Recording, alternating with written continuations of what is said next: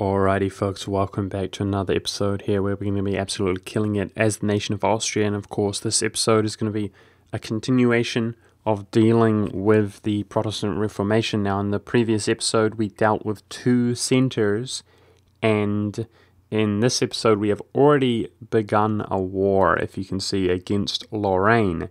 And that is significant because uh, he is actually allied to Saxony who uh, in his capital city the second Reformation has spawned. So uh, I actually have Holy War CB against Lorraine because I border him and I've completed religious ideas, of course, anticipating this happening.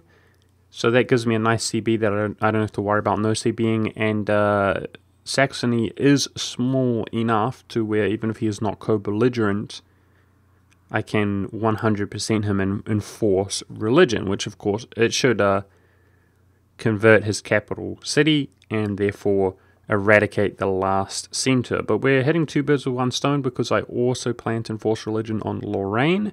Now, Lorraine has annexed other territory that I could release, like Luxembourg, as independent princes. But the issue of that, of course, is that uh, Lorraine's religious unity right now is 100% Protestant.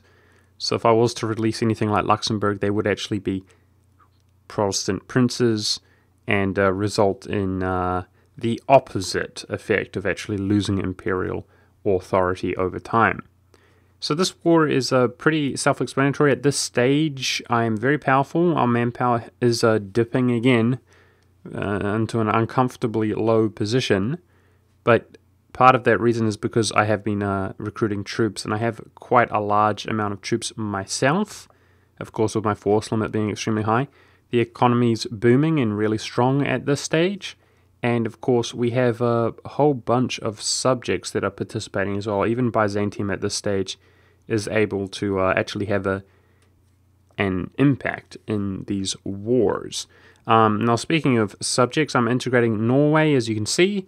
And of course, that is the main benefit of what I'm interested in there is uh, the clay to be added towards the empire.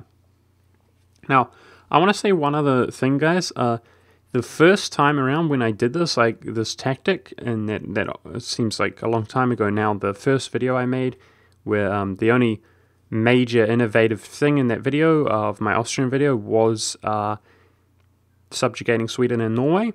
Um, I made it clear that you guys have to bridge across the empire into Scandinavia. And uh, the way that I did it that time around, because uh, Sweden did not inherit Gotland, was uh, by actually starting a, another war later on against Denmark when he was nice and weak because he no longer has his subjects, and actually just taking some land. So I think I had the Swedish uh, claim by prioritizing their land uh, or uh, geez, making a province high priority is what I mean to say. And um, yeah, basically coring across from Pomerania into basically southern Scandinavia. Uh, now, the reason I say that is because uh, there is a little bit of a dynamic nowadays, guys, because the way they change the sea tiles around the Baltic uh, to where Estonia or any nation in that region, like the Livonian Order in the beginning of the game, cannot actually join the Empire, which, if you guys uh, recall in the past, they could do. And that is because they don't border the Empire. So basically, you kind of need Danzig to be brought inside the Empire. But the reason I say this is because if, which is uh, somewhat realistic, guys, that you do uh, crush Denmark over time in order to add Scandinavia to the empire, then um, the Baltic regions can join the empire via Finland, uh, actually bordering them. So just keep that in mind. Uh, I don't want people to sort of use that as oversight if you're if you're stressing out about the fact that um, Poland has taken uh, Danzig and it's going to be such a big detriment because you don't get these sort of Prussian region via feeding the Teutonic Order or anything like that, and even worse, you're, you're worried about the Livonian Order not being able to join. Well, of course, they will be able to join, and uh, that's pretty significant because that whole region can be inherited uh, freely. They will be able to join if you uh, bridge it out through Sweden into Finland and into the Estonian region as well.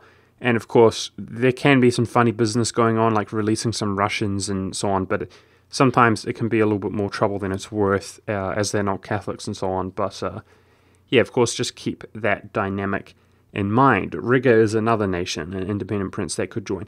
Now, I'm not sure, guys, that I've been 100% clear. I know a lot of the stuff um, I talked about earlier on, but I just want to reiterate, everybody, that uh, I've been allies with Poland for a long time, and uh, one thing that I do want to do is, uh, speaking of Poland and the fact that they might take Danzig, they might block you out, uh, I don't want to tread on their toes, and uh, I know that when we revoke, they're going to become an invalid rival, but uh, I am trying to maintain at this stage, we you can see our diplomats there, I've got four diplomats, and at this stage we, we're doing, well, Apparently, I'm not being voted for right now, just checking that screen.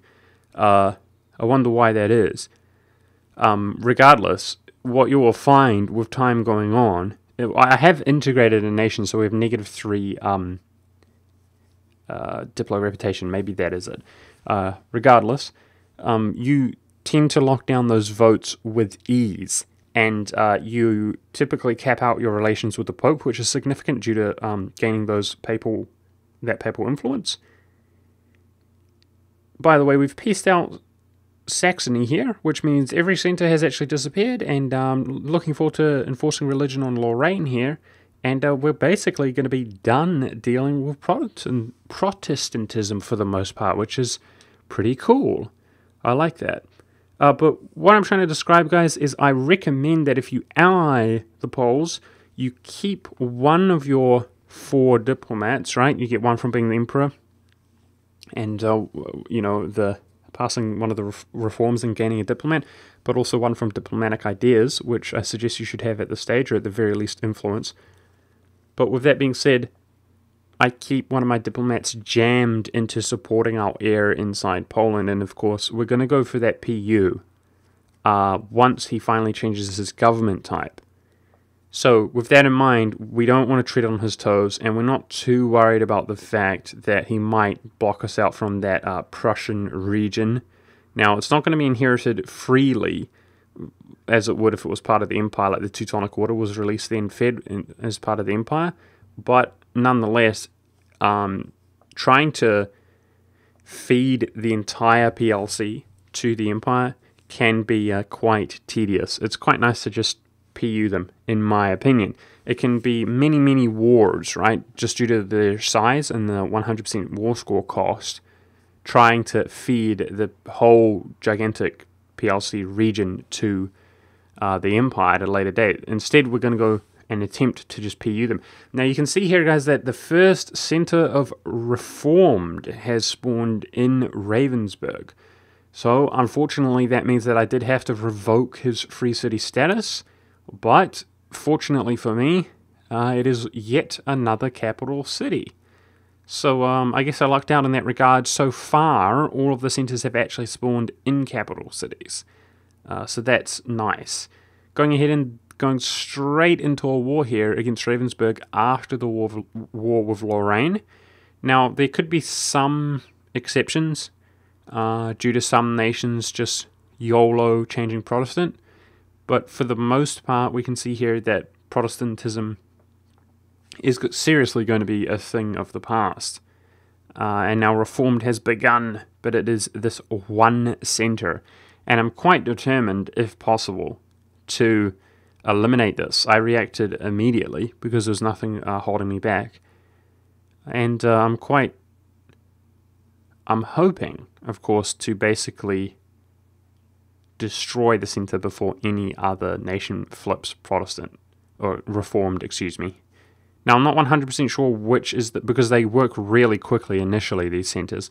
Not sure where it is working, but if you guys can see there, Switzerland has gone quite a bit savage. He's really expanded. He's got a bit of ugly border gore going, but he's really uh, occupies a lot of the neighboring provinces, and I, I think that um, some of his provinces were converted to reform, if I remember correctly, as opposed to one of the capitals, like Württemberg, for example, neighboring him. Now, I do remember some uh, issue which was a little bit unfortunate. I think it's Ulm, But uh, one of the nations was actually converted, and therefore his religious unity. Ah, yeah. See, I can see it's converting him right now. That's unfortunate. Oh well. Um, basically, I knew he was going to switch his religion, but uh, we can see Württemberg, Ravensburg, and soon to be Ulm are going to be reformed. So I think uh, inevitably we end up with just too little uh, heretics for some time here inside of the empire. But uh, yeah, so his country gets converted there to, to Reformed, as you can see, and unfortunately, there's no enforced religion because he is Catholic. He cannot actually change his religion while he's at war. So, of, of course, when they peace him out, he changes to Reform and with him. So that's pretty unfortunate. But nonetheless, it was a quick, decisive victory, and we took out the first center of Reform and uh, there's only two more to go. But as I talk, talked about in the previous episode, the fact that nations are not inclined to form or switch to reformed means that we might not ever actually have to deal with any other centres. Uh, when you really dominate the Protestant Reformation to this extent, it definitely does have a kind of a detrimental effect to the whole movement as a whole. But that is a good thing when you are the emperor and you want to be Catholic. So uh, I've got a big smile on my face. I hope you guys enjoyed this. Thank you very much for watching. And I'll see you next time where we add some more clay to the empire.